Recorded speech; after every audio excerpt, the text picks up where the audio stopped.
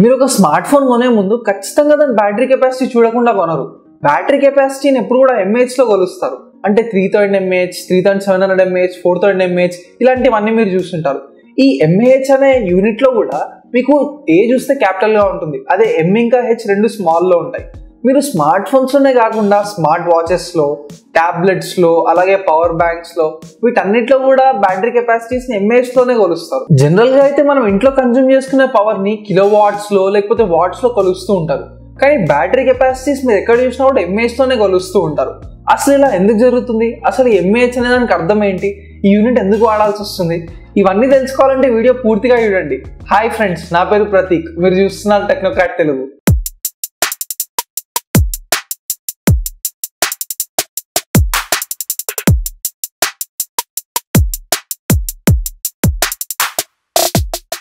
మన దగ్గర ఉన్న స్మార్ట్ ఫోన్స్ కానీ పవర్ బ్యాంక్స్ కానీ మన ఫ్రెండ్స్ దగ్గర ఉన్న వాటితో కంపేర్ చేయాలన్నప్పుడు వాటి బ్యాటరీ కెపాసిటీస్ మనం ఎంఏహెచ్లో చెప్తూ ఉంటాం. ఇది just three thousand three hundred mAh అన్నది ఫైవ్ థౌసండ్ ఎంఏహెచ్ ఉన్న స్మార్ట్ ఫోన్ అని చెప్పి. కానీ మనలో ఎంతమందికి అసలు ఎంఏహెచ్ అనే దాని అర్థం తెలుసు?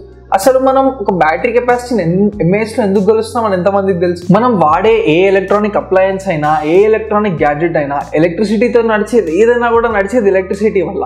ఎలక్ట్రిసిటీ అంటే మన కాపర్ వైర్స్లో లేకపోతే ప్రతి ఒక్క కండక్టర్లో ఎలక్ట్రాన్స్ ఫ్లో అవుతూ ఉంటాయి. ఈ ఎలక్ట్రాన్స్ అనే వాటికి నెగిటివ్ ఛార్జ్ ఉంటుంది. ఇలా మీరు కొన్ని ఎలక్ట్రాన్స్ తీసుకుంటే దీనికి ఎంత ఛార్జ్ ఉందో మనం కూలమ్స్లో మెజర్ చేస్తూ ఉంటాం. ఇప్పుడు ఒక వైర్లో ఒక పైప్లో వాటర్ ఎలాగైతే వెళ్తుందో అలాగే వైర్లో ఎలక్ట్రాన్స్ కూడా అలాగే పాస్ అవుతూ ఉంటాయి. సో ఒక పాయింట్ని ఎన్నైతే ఎలక్ట్రాన్స్ దాటాయో మనం దాన్ని కరెంట్ ద్వారా మెజర్ చేస్తున్నాం. అంటే ఒక్క సెకండ్లో ఎన్నైతే ఎలక్ట్రాన్స్ దాటాయో దాని ఛార్జ్ మొత్తంని డివైడెడ్ బై టైం చేస్తాం. అప్పుడు మనకు కరెంట్ వస్తుంది. దీన్ని మనం యాంపియర్స్లో కొలుస్తాం. అంటే ఒక వైర్లో వన్ ఆంపియర్ కరెంట్ అంటే వన్ కూలుంబ్ ఆఫ్ ఛార్జ్ ఆ పాయింట్ని వన్ సెకండ్లో దాటింది అని అర్థం. మనం కరెంట్ని ఇలా మెజర్ చేస్తున్నాం. ఇప్పుడు మిల్లీ యాంప్ అంటే వన్ థౌజండ్తో అని అర్థం. అంటే వెయ్యో వంతు. వన్ థౌజండ్ అంటే zero point zero zero one amps మనకి ఒక సెకండ్లో దాటుతుందని అర్థం. ఇప్పుడు మీరు థౌజండ్ మిల్లీ యాంప్ ఆర్ ఒక బ్యాటరీ కెపాసిటీ అని మీరు అంటే ఒక్క గంటలో అది మీకు వన్ యాంప్ కరెంట్ ఇచ్చే కెపాసిటీ ఉందని అర్థం. లేదా thousand milli amp current capacity ఇచ్చే ఉందని అర్థం. సో మనం ఇప్పుడు ప్రాక్టికల్ టర్మ్స్లో మాట్లాడుకుందాం. ఒక smart phone battery capacity suppose three thousand milli amp hour ఉంది అని మనం అనుకుందాం. అంటే అది ఒక గంటలో మీకు three thousand milli amp current లేదా త్రీ యాంపియర్ కరెంట్ మీకు ఆ బ్యాటరీ ఇవ్వగలుగుతుంది అని అర్థం. కానీ నిజం చెప్పాలంటే త్రీ యాంప్స్ కరెంట్ అనేది చాలా పెద్ద కరెంట్ ఒక స్మార్ట్ ఫోన్ అంత కరెంట్ ఎలాగో ఉపయోగించుకోదు. ఉదాహరణకు అది suppose only three hundred milli amp current ఉపయోగిస్తుంది అనుకుందాం. So three thousand by three hundred is equal to ten అంటే పది గంటల పాటు ఒక త్రీ థౌసండ్ మిల్లీ బ్యాటరీ మీకు త్రీ హండ్రెడ్ మిల్లీ ఆంపార్స్ ఇస్తూ పోతుంది అని అర్థం. కానీ నిజం చెప్పాలంటే ఇక్కడ కూడా ఒక చిన్న ప్రాబ్లం ఉంది. ఏ స్మార్ట్ ఫోన్ కూడా కాన్స్టెంట్గా త్రీ హండ్రెడ్ మిల్లీ ఆంప్ కరెంటో లేకపోతే కాన్స్టెంట్గా ఒకటే కరెంట్ ఉపయోగించుకుంటూ పోదు. మీరు స్టాండ్ బైలో పెట్టినప్పుడు చాలా తక్కువ కరెంట్ కన్జ్యూమ్ చేస్తుంది. మీరు బ్రైట్నెస్ పెంచి ఫ్లాష్ వేసి ఫోర్ కేలో వీడియో రికార్డ్ చేస్తున్నప్పుడు మీరు డేటా ఆన్ చేసినప్పుడు చాలా ఎక్కువ కరెంట్ కన్జ్యూమ్ చేసుకుంటుంది. సో కరెంట్ కన్జంప్షన్ అనేది ఎప్పుడు లీనియర్గా ఉండదు. మీరు ఎప్పుడు వాడుతున్నారు ఎప్పుడు వాడట్లేదు అనే దాన్ని బట్టి మారుతూ ఉంటుంది. మన ఇంట్లో ఎలక్ట్రిసిటీ బిల్ చూస్తే మనకి వన్ యూనిట్కి ఫోర్ రూపీస్ వన్ యూనిట్కి ఫైవ్ రూపీస్ అని మనకు ఛార్జ్ చేస్తూ ఉంటారు. ఇక్కడ వన్ యూనిట్ అంటే వన్ కిలో వాట్ హార్ అని అర్థం. సో మీరు వాట్ అంటే పవర్కి యూనిట్ అలాగే హవర్ అంటే టైం కి యూనిట్ ఈ రెండింటిని మల్టిప్లై చేస్తే మీకు ఎనర్జీ యూనిట్ వస్తుంది. సో ఆ ఎలక్ట్రిసిటీ అనేది మీకు ఇంట్లో ఎంత పని చేసిందన్న దాన్ని బట్టి మీరు దానికి డబ్బులు చెల్లిస్తూ ఉంటారు. బ్యాటరీ కూడా అలా మనం ఎందుకు వాట్ అవర్లో కిలో వాట్ అవర్లో మనం మెజర్ చేయము అని మీరు అడగవచ్చు బ్యాటరీ కూడా మనం అలాగే మెజర్ చేయొచ్చు. కరెంట్ బిల్కి మనం మెజర్ చేసేటప్పుడు మనకి ఏ ప్రాబ్లం ఎందుకు ఉండదు అంటే వాల్ సాకెట్స్లో వచ్చే వోల్టేజ్ ఎప్పుడు కాన్స్టెంట్గా ఉంటుంది టూ ట్వంటీ వోల్ట్స్ అదే మన బ్యాటరీస్ మనం చూసుకుంటే మీ ఫోన్లో ఉండే బ్యాటరీ ఒకసారి ఫోర్ పాయింట్ టూ వోల్ట్స్ ఉంటుంది ఫోర్ పాయింట్ సెవెన్ వోల్ట్స్ ఉంటుంది ఫోర్ పాయింట్ ఫోర్ వోల్ట్స్ ఉంటుంది. మీ పవర్ బ్యాంక్లో ఉండే batteries three point seven volts ఉంటాయి.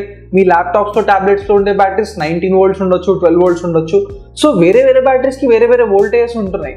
వీటన్నిటిని ఒక కామన్ స్టాండర్డ్లో చెప్పాలంటే మనం ఎంఏజ్ ద్వారానే చెప్పగలుగుతాం. ఇప్పుడు మీకు ఆ బ్యాటరీ వోల్టేజ్ తెలిసి అలాగే దాని uh, ఎంఏహెచ్ కెపాసిటీ ఎంత ఉందని తెలిసినప్పుడు ఈ రెండింటిని మల్టిప్లై చేస్తే మీకు దాని వాటేజ్ వచ్చేస్తుంది. మనం ప్రతి నెల కరెంట్ బిల్ కడుతూ ఉంటాం. మన ఇంట్లో చాలా రూమ్స్ ఉంటాయి. మన లివింగ్ రూమ్లో ఫ్యాన్ ఉంటుంది. మన మన కిచెన్లోకి వెళ్తే అక్కడ రెఫ్రిజిరేటర్ ఉంటుంది ఒక ఓవెన్ ఉంటుంది. మనం బెడ్రూమ్స్కి వెళ్తే అక్కడ కూడా ఫ్యాన్స్ ఉంటాయి ఏసీ ఉంటుంది. బాత్రూంలో వెళ్తే గీజర్ ఉంటుంది. ఇలా ఒక్కొక్క డివైస్ ఒక్కొక్క రూమ్లో ఒక్కొక్క పవర్ కన్సంప్షన్ ఉండడం వల్ల వీటన్నిటి వల్ల మనం కొంచెం ఎలక్ట్రిసిటీ బిల్ కడుతున్నాం. ఇప్పుడు ఏసీ వల్ల ఓవెన్ వల్ల ఇంకా గీజర్ వల్ల వచ్చినంత కరెంట్ బిల్ మీకు ఖచ్చితంగా ట్యూబ్లైట్స్ వల్ల ఫ్యాన్స్ వల్ల రాదు. ఇప్పుడు మనం ఎలక్ట్రిసిటీ బిల్ ఎలాగైతే కడుతున్నామో మన ఫోన్ బ్యాటరీ కెపాసిటీ కూడా మన ఫోన్ అలాగే ఉపయోగించుకుంటూ ఉపయోగించుకుంటూ పోతుంది.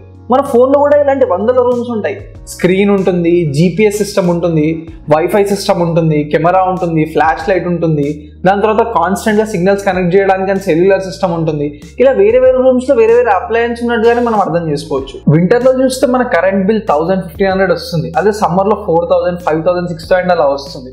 అంటే మనం ఎంత కరెంట్ వాడాలనుకున్నా కూడా పవర్ కట్ చేసేంత వరకు కూడా మనం పవర్ వాడుతూ పోవచ్చు. ఎంత వాడమన్న దాని బిల్ మనకు మంత్ ఎండ్లో వస్తుంది. కానీ ఫోన్లో ఇలా కాదు కదా.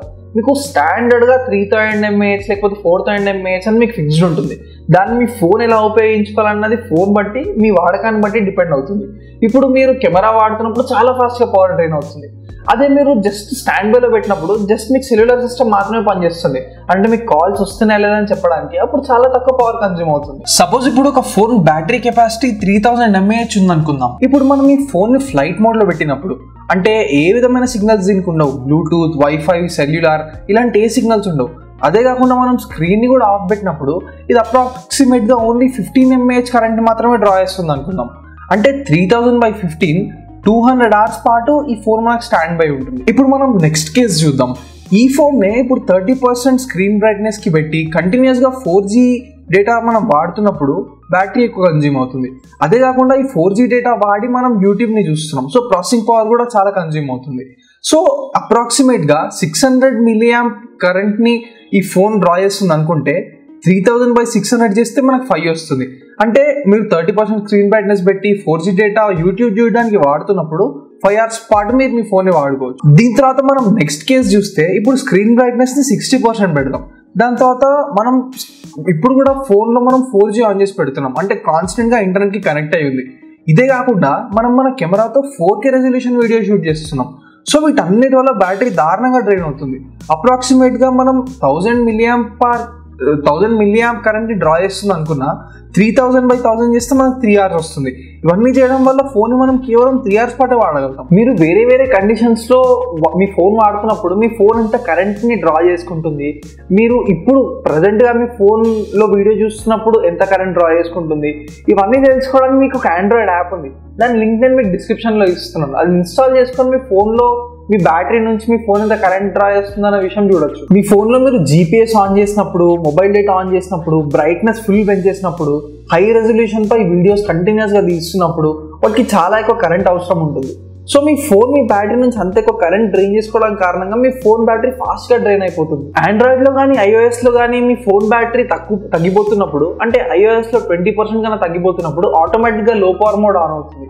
ఈ లోపర్ మోడ్లో ఏమవుతుందంటే మీరు హై రెజల్యూషన్లో వీడియో తీయలేరు ఫ్లాష్ కూడా ఆన్ చేయలేరు కొన్నిసార్లు. ఇదే కాకుండా మీ ప్రాసెసింగ్ మొత్తం కూడా చాలా థ్రాట్లు అయిపోతుంది చాలా స్లో అవుతుంది. ఇలా అవ్వడం వల్ల ఏమవుతుందంటే మీరు గేమ్స్ ఆడుతున్నప్పుడు మీకు చాలా ఫ్రేమ్ డ్రాప్స్ వస్తాయి. మీరు మీ సైడ్ హోమ్ స్క్రీన్స్కి స్వైప్ చేస్తున్నప్పుడు కూడా మీకు చాలా ఇట్లా ల్యాగ్ ఎఫెక్ట్ షటరింగ్ ఎఫెక్ట్ కనిపిస్తుంది.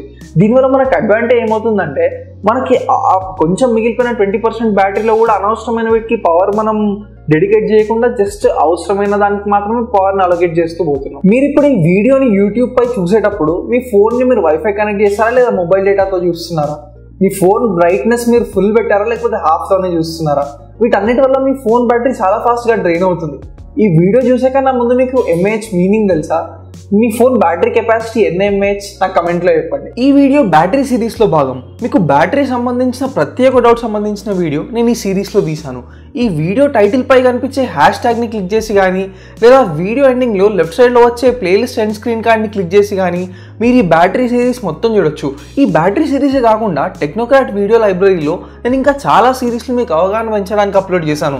అవన్నీ చూడండి మీరు చాలా విషయాలు తెలుసుకోవచ్చు. మీరు టెక్నాలజీ సంబంధించి ఇంకా ఏ కొత్త విషయాన్ని తెలుసుకోవాలన్నా కానీ పక్కన టెక్నోక్రాట్ తెలుగు అని కూడా సెర్చ్ చేయండి.